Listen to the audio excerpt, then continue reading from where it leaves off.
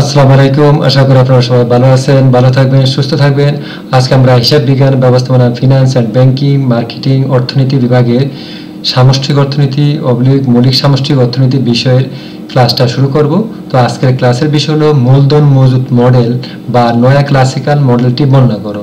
তো মূলধন মজুদ মডেলটি আলোচনা করার পূর্বে আমাদের জানতে হবে এই মূলধন মজুদ মডেলটি কে ব্যাখ্যা প্রদান করছেন। এই জিনিসটা আমাদের জানতে হবে। আর এই মূলধন মজুদ মডেলে যে দুইজন অর্থনীতিবিদ অবদান রাখছেন, সেই দুইজন অর্থনীতিবিদ কোন কোন বিষয়ের উপরে নির্ভর করতে বলছেন এবং কেন বা নির্ভর করতে বলছেন এবং সেই দুইটি বিষয়ের উপরে আলাপ আলোচনা বা চিন্তা করে একজন বিনিয়োগকারী কোনো প্রকল্পে সে মূলধন বিনিয়োগ করবে, সেই কথাটা আমরা আজকে এখানে জানতে পারব। তাহলে আমরা যেখানে প্রথম, অর্থনীতিবিদ রবার্টসন ও জনসন মূলধনের মজুদ সম্পর্কে যে বক্তব্য স্থাপন করেন উহাই কাম্য মূলধন মজুদ তত্ত্ব নামে পরিচিতি। তাহলে মূলধন মজুদ মডেল বা নয়া ক্লাসিক্যাল মডেলটি দিচ্ছেন দুজন বিখ্যাত অর্থনীতিবিদ অর্থনীতিবিদ রবার্টসন ও জনসন। এই দুজনে একত্রে এই মূলধন মজুদ মডেলটি প্রদান করছেন তাহলে তাদের মতে যদি বিনিয়োগের অন্য সকল নির্ধারক স্থির থাকে, কোনো পরিবর্তন না হয়, তাহলে বিনিয়োগ প্রধানত দুইটি বিষয়ের উপরে নির্ভর করে। তাহলে রবার্টসন আর জনসন বলছেন যে সকল বিনিয়োগের অন্য সকল নির্ধারণ যদি কোনো পরিবর্তন না হয় নির্ধারকগুলি, তাহলে বিনিয়োগ দুইটি বিষয়ের উপর নির্ভর করে। এক, মূলধনের প্রান্তিক উৎপাদন ক্ষমতা, MPK marginal productivity of capital তাহলে এক নম্বর হলো মূলধনের প্রান্তিক উৎপাদন ক্ষমতার উপর নির্ভর করে। আর দুই নম্বর হলো মূলধনের ব্যবজনিত ব্যয় আর সি অর্থাৎ রেন্টাল কস্ট তাহলে এই যে রবার্টসন আর জনসন মূলধনের মজুর সম্পর্কে যে বক্তব্য দিয়েছেন, তার বক্তব্য বলছে যদি বিনিয়োগের সকল নির্ধারকটা পরিবর্তন না হয়, স্থির থাকে, তাহলে এই বিনিয়োগ প্রধানত দুইটি বিষয়ের উপর নির্ভর করবে। এক নম্বর হলো এমপিকে এর বাংলা হলো মূলধনের প্রান্তিক উৎপাদন ক্ষমতা, অর্থাৎ মার্জিনাল প্রোডাক্টিভিটি অফ ক্যাপিটাল আর দুই নম্বর বলছে আরসি অর্থাৎ মূলধনের ব্যবহারজনিত ব্যয়, অর্থাৎ রেন্টাল কস্ট এই দুইটি বিষয়ের উপরে সাধারণত বিনিয়োগটা নির্ভর করবে। এখন একজন বিনিয়োগকারী কখন বিনিয়োগ করবে, কখন বিনিয়োগ করবে না, কখন সে নিরপেক্ষ থাকবে, আমরা এখন এই দুইটি বিষয় নিয়ে জানব যে কখন সে বিনিয়োগ করবে।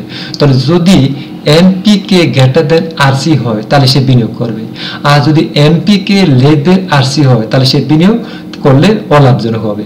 আর যদি আর এমপিকে ইকুয়াল আরসি হয়, তখন সে বিনিয়োগ প্রকল্পে বিনিয়োগ করা থেকে কি নিরপেক্ষ থাকবে? বিনিয়োগ করতে পারে, নাও করতে পারে। তাহলে আমরা এখন মূলধনের প্রান্তিক উৎপাদন ক্ষমতা যে, বিনিয়োগ যে প্রধানত দুইটি বিষয়ের উপর নির্ভর করে, সেই দুইটি বিষয় আমরা আগে জেনে নেই। মূলধনের প্রান্তিক উৎপাদন ক্ষমতা বা এমপিকে এর মিনিং হলো মার্জিনাল প্রোডাক্টিভিটি অফ ক্যাপিটাল কাকে বলে? অতিরিক্ত এক একক মূলধন নিয়োগের ফলে যে অতিরিক্ত উৎপাদন পাওয়া যায়, তাকে মূলধনের প্রান্তিক উৎপাদন ক্ষমতা বলে।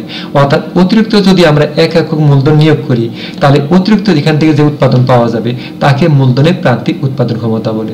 আর মূলধনের ব্যবহারজনিত ব্যয় বা আরসি মানে রেন্টাল কস্ট কোনটাকে বলে? মূলধন দ্রব্য ব্যবহারের জন্য আমরা মূলধনের যোগান দাম, সুদের হার, অপচয় ব্যয় সহ যাবতীয় সকল ব্যয় সমষ্টিকে মূলধনের ব্যবহারজনিত ব্যয় বলে।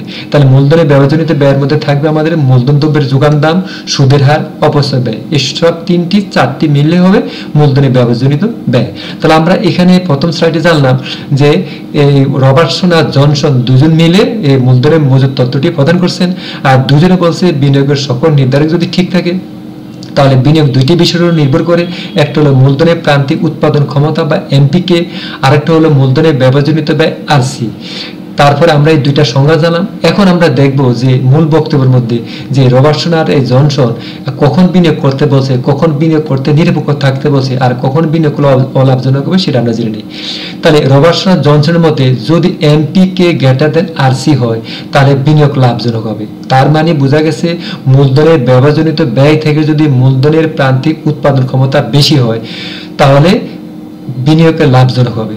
দুই নম্বর বলছে যদি এমপিকে লেস দেন আরসি হয়, অর্থাৎ marginal productivity of capital less than rental cost অর্থাৎ মূলধন, তাহলে কি হবে? বিনিয়োগ অলাভজনক হবে। অর্থাৎ মূলধনের প্রান্তিক উৎপাদন ক্ষমতা যদি মূলধনের ব্যবজনিত ব্যয় থেকে কম হয়, তাহলে বিনিয়োগ অলাভজনক হবে। তাহলে আমরা জানলাম কি? যদি এমপিকে লেস দেন আরসি হয়, অর্থাৎ মূলধনের প্রান্তিক উৎপাদন ক্ষমতা থেকে যদি, অর্থাৎ মূলধনের ব্যবজনিত ব্যয় বেশি হয়, তাহলে বিনিয়োগ অলাভজনক হবে।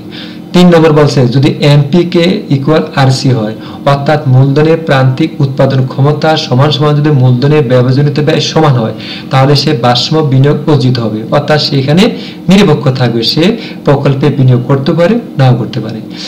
তাহলে আমরা এই তিনটি কন্ডিশন জানলাম। অর্থাৎ রবার্সন আর জনসনের মূল বক্তব্য ছিল যে, যদি মূলধনের প্রান্তিক দক্ষতা মূলধনের ব্যবহারজনিত ব্যয় থেকে বেশি হয়, তাহলে প্রকল্পে বিনিয়োগ করা ঠিক হবে এবং এখানে বিনিয়োগ করলে লাভ পাওয়া যাবে।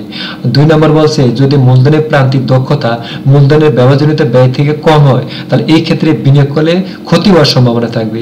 তিন নম্বর বলছে, যদি মূলধনের প্রান্তিক দক্ষতা মূলধনের ব্যবহারজনিত ব্যয় সমান হয় এই ক্ষেত্রে সে ভারসাম্য বিনিয়োগ অর্জিত হবে।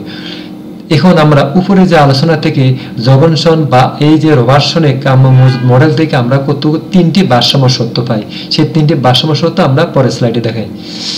তাহলে জগনসনের কাম্য মূলধন মডেলে ভারসাম্য সত্য হলো, যদি এমপিকে গ্রেটার দেন আরসি হয়, তাহলে বিনিয়োগ লাভজনক হবে। অর্থাৎ মূলধনের প্রান্তিক উৎপাদন ক্ষমতা যদি মূলধনের ব্যবজনিত ব্যয় থেকে কম হয়, তাহলে বিনিয়োগ কি হবে? আমাদের লাভজনক হবে। তাহলে সরি এখানে অলাভজনক বলা আছে, এখানে লাভজনক হবে, অলাভজনক হবে না। দুই নম্বর হয়েছে, যদি এমপিকে লেস দেন আরসি হয়, তাহলে বিনিয়োগ অলাভজনক হবে। অর্থাৎ মূলধনের প্রান্তিক উৎপাদন ক্ষমতা যদি মূলধনের ব্যবজনিত ব্যয় থেকে কম হয়, তাহলে বিনিয়োগ অলাভজনক হবে। তিন নম্বর বলছে এমপিকে ইকুয়াল যদি আর হয়, তাহলে ভারসাম্য বিনিয়োগ অর্জিত হবে।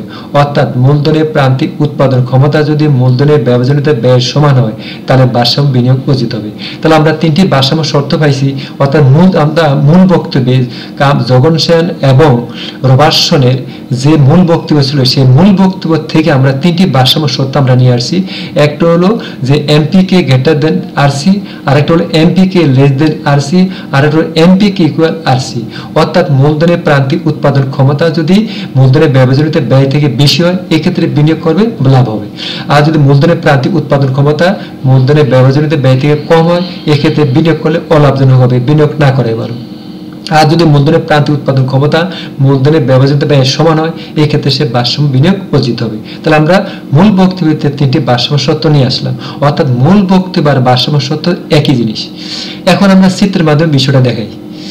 তাহলে চিত্রের লম্বকে এমপিকে আর অবলিক আরসি, অর্থাৎ মার্জিনাল প্রোডাক্টিভিটি অফ ক্যাপিটাল আর দে বলে রেন্টাল কস্ট মূলধনের প্রান্তিক উৎপাদন ক্ষমতা আর হলো মূলধনের ব্যবজনিত ব্যয়, আর ভূমিকে দেওয়া আছে ক্যাপিটাল অর্থাৎ মূলধন।